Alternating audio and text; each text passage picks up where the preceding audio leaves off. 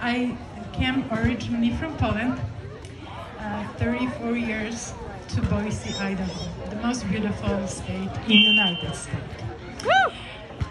And before I came, I was fighting for freedom in Poland. And uh, what is going on right now reminded me what I left. I had one choice, either go to jail, like this lady Stephanie, who can play with her children, except me, I was with solidarity and fight for against communism.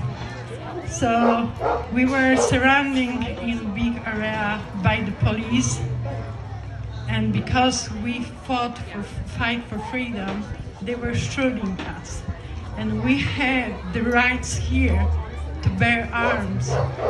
And what I will, and I can promise you, I'm everywhere looking for people to, to stand up and finally fight what we might last forever. So please don't allow this, what happened is now. Bring me 34 years ago, 37 years, because it was, in 1981 when I have to leave Poland to choose country, what country will take me. And those countries, what I could take were Canada. Who will go to Canada? Sorry.